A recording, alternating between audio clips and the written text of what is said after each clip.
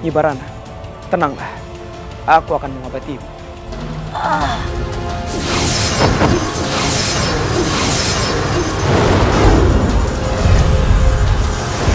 Aku laki yang santang berjuang untuk agama.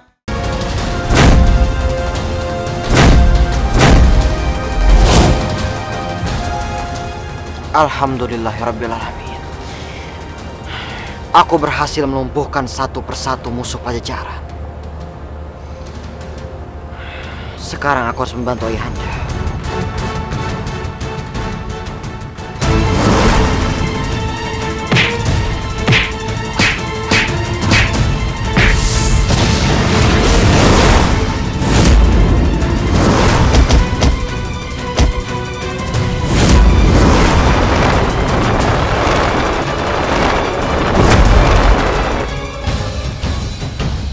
Prabu Data Prawira. Lebih baik kau menyerah. Daripada kau mati sia-sia. Jangan bermimpi. Aku menyerah dengan rompang.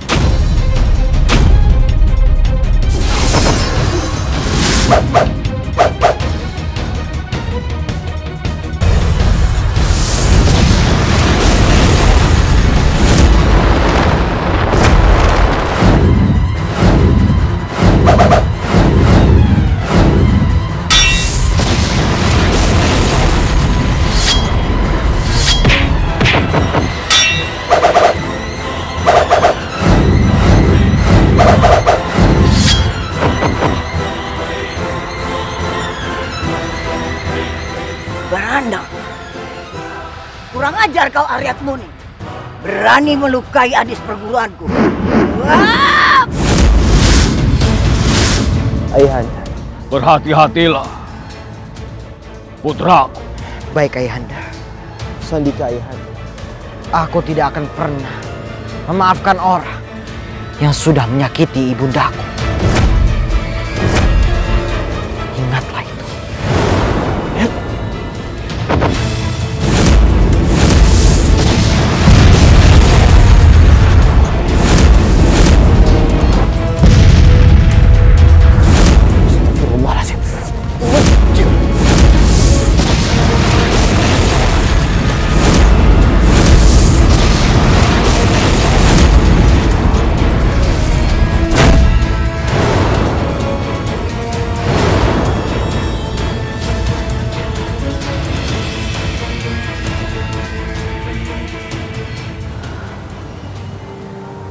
putriku. Ayahanda. Terima kasih Ayahanda sudah menyelamatkanku.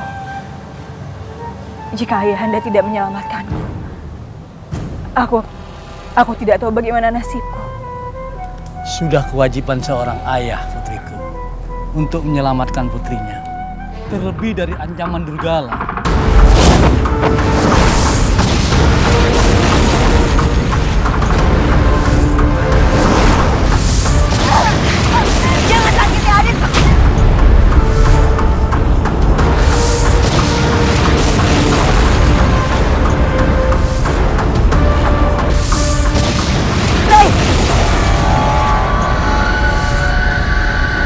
Putriku,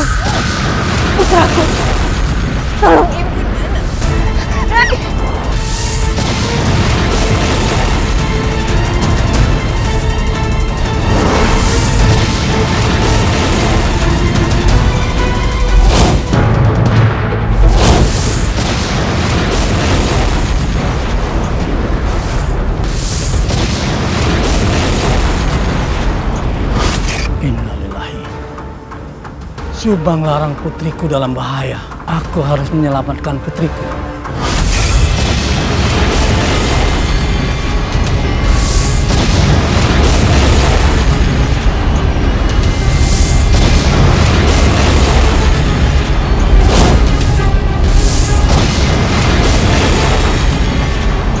Putriku,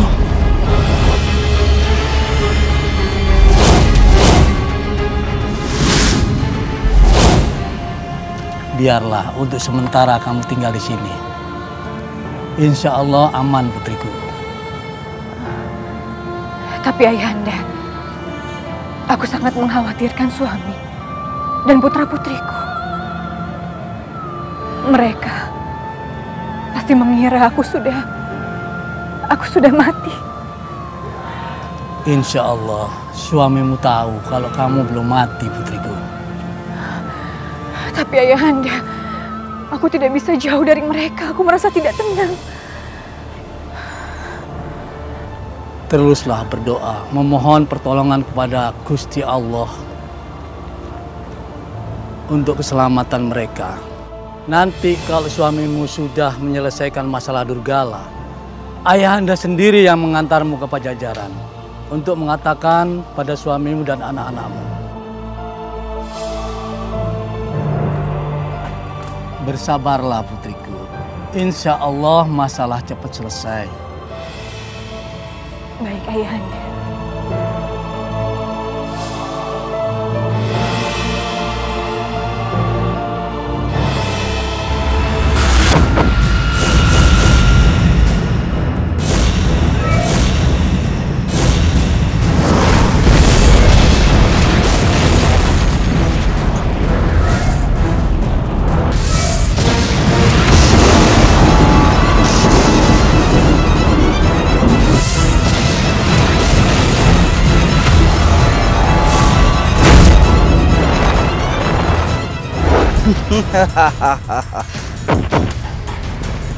Bismillah.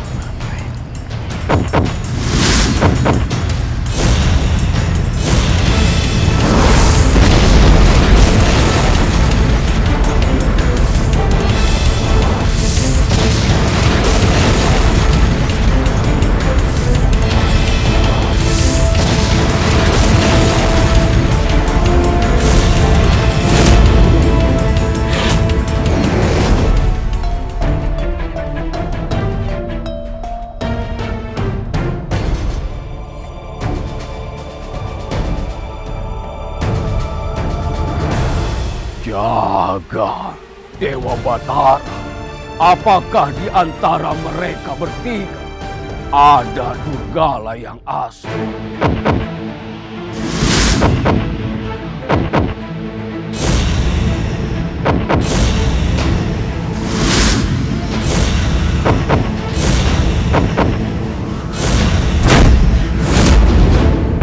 Ternyata mereka hanya bayangan, bukan Durgala yang asli. Lalu, di mana Durgala yang asli? Aku harus bisa mencari.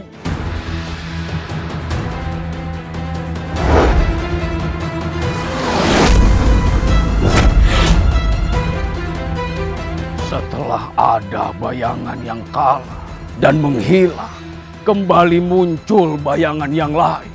Entah sampai kapan ini akan berakhir. Hadapi aku Siliwangi!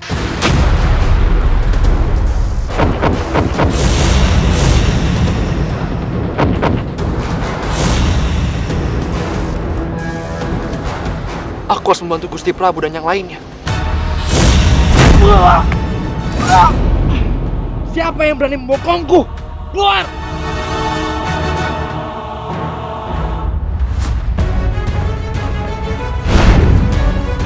Dirompak! Aku akan menghabisimu.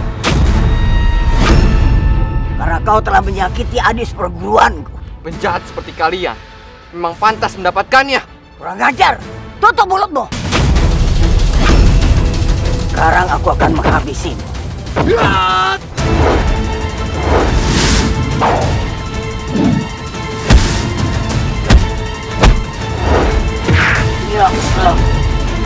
Hah?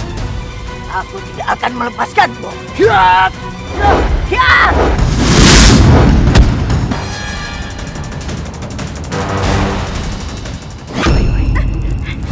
Raka, kita mau ke mana? Kita hendak ke mana, Raka? Memangnya apa rencanamu, Raka? Sudahlah adikku. Kamu jangan banyak tanya. Sebaiknya kita pergi dari sini sekarang adikku. Ayo. Ayo Raya, jangan banyak berpikir. Kita pergi dari sini. Ayo. Berhenti!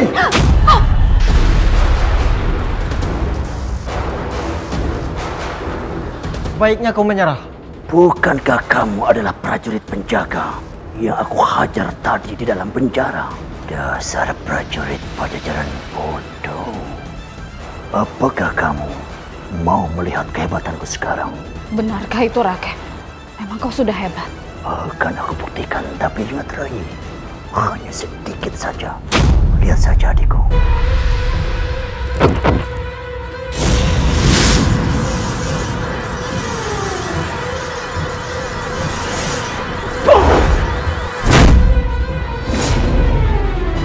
Ya, Rai, tenang Rai. Apa yang kau lakukan? Kenapa kau membunuhnya? Oh, shh, Rai, Rai, sudahlah adikku. Dia akan menjadi duri dalam daging adikku. Karena prajurit bodoh ini sudah mengetahuiku kalau aku sudah membebaskan prahasil si pendekar bodoh itu. Jadi itu alasanmu? Oh, Rai, Rai, kamu jangan pedulikan prajurit rendahan ini karena dia sangat tidak pantas untuk berhadapan dengan kita, adikku. Ayo, adikku.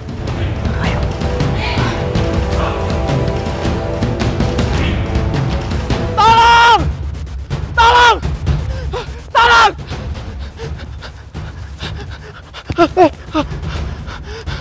Ke mana manusia segala itu? Kenapa dia tiba-tiba menghilang? Aku yakin sekali. Tadi aku dikejar olehnya.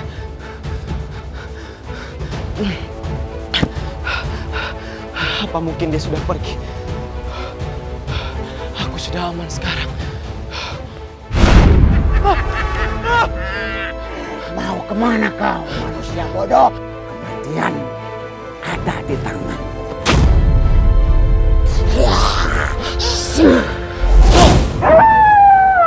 Makhluk apa itu?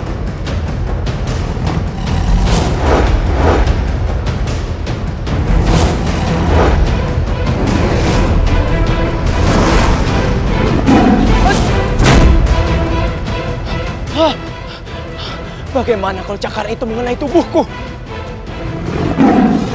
Ah! Ah!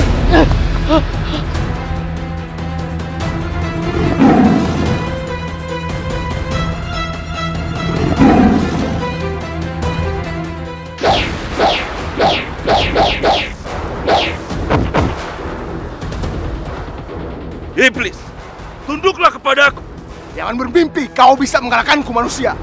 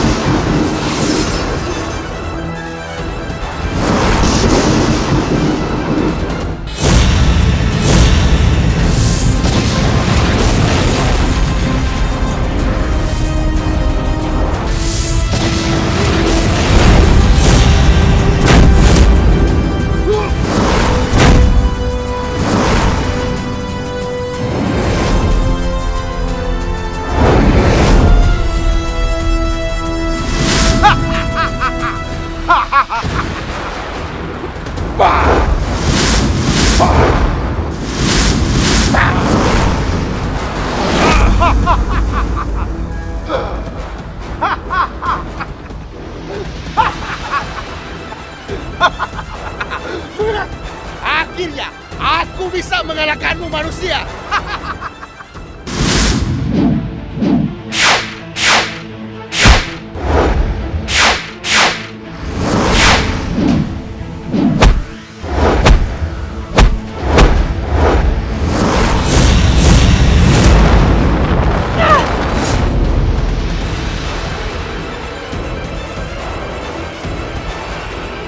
Aku akan menghabisimu kakek tua.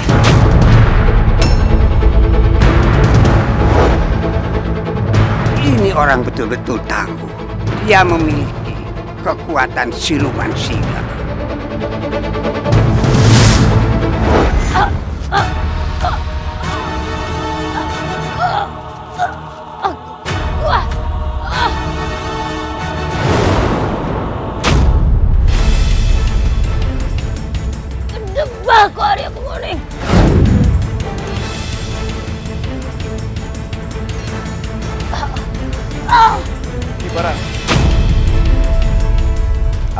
Terjadi padamu? Arya Kemuning yang membuatku seperti ini. Aku terluka dalam karenanya. Aku hampir binasa olehnya. Tenang. Ayo Jakara, aku tidak kuat lagi menahan sakit ini. Nyibarana, tenanglah. Aku akan mengobatimu. Ah.